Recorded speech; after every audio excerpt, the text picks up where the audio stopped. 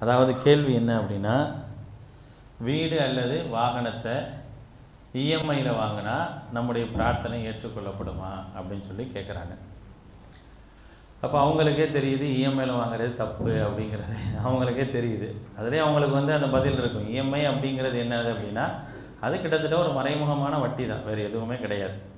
அவன் வந்து அந்த வட்டியினுடைய நிபந்தனையோடு தான் என்ன செய்கிறான் தரான் அப்படிங்கிறப்ப அந்த இஎம்ஐ அப்படிங்கிற அந்த விஷயத்தை வந்து தவிர்த்து கொள்வது தான் சிறந்த ஒன்று. ஏன்னா நபிசுல்லாசலம் என்ன சொல்கிறாங்கன்னா வட்டி என்பது முஸ்லீம்கள் மீது இந்த உம்மத்தின் மீது ஒரு புழுதி படைஞ்சது போல விரும்பினாலும் விரும்பாட்டியும் இருக்குங்கிறாங்க. நம்ம வட்டிக்கே போகலைன்னா கூட நம்ம மேலே வட்டியுடைய புழுதி என்ன செய்ய? சும்மாவே பட்டிருக்குது. சும்மாவே நம்ம மேலே வட்டியுடைய புழுதி பட்டிருக்கும் போது அதை வந்து திருப்பி நம்ம என்ன செய்ய வேண்டியதில்லை? அதுக்குள்ளே போகாமல் இருங்க அப்படிங்கிறத என்ன செய்கிறாங்க சொல்லி காட்டுறாங்க.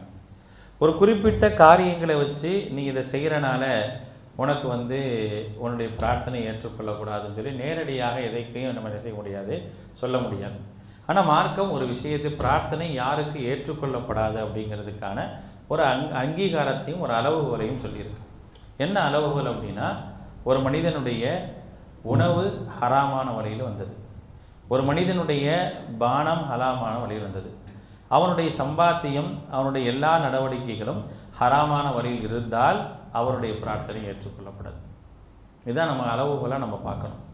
நம்ம பார்க்க வேண்டிய அளவுகோல் இதுதான்.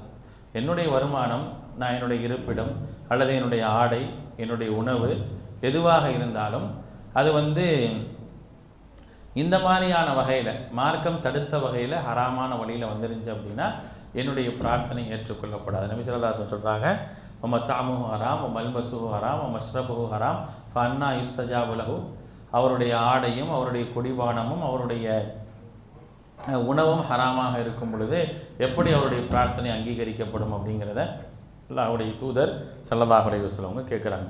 ஆக அந்த அடிப்படையில் நம்ம என்ன தெரிஞ்சுக்கணும் அப்படின்னா எனக்கு அது இஎம்ஐயாக இருக்கட்டும் வேறு வழியிலாக இருக்கட்டும் எதுவாக இருந்தாலும் அது ஹராம் அப்படின்னு எனக்கு தெரியுது அப்படின்னா அதுலேருந்து நான் ஒதுங்கிக்கணும். என்னுடைய துவாக்கள் பாதுகாக்கப்படுவதற்காக. ஒருவேளை சந்தேகமாக இருக்குது. அல் ஹலாலு பையினுன் வல் ஹராமு பையினுன் பைனஹுமா முஸ்தபிஹாத்தும் ஹலால் தெளிவானது ஹராம் தெளிவானது. ரெண்டுக்கும் மத்தியில் சில சந்தேகத்திற்கிடமானது இருக்குது. இப்போ இந்த சந்தேகத்திற்கிடமானதை நான் என்ன செய்கிறது அப்படிங்கிற ஒரு கேள்வி வரும் பொழுது நபிசரதாசன் சொல்கிறாங்க ஃபமம் வகா ஃபி சுபஹாத்தி வகா ஃபில் ஹராம்.